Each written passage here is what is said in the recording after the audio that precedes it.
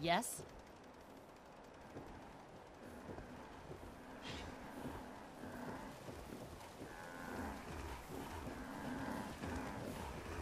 Stick to the roads, and you got a better chance of surviving.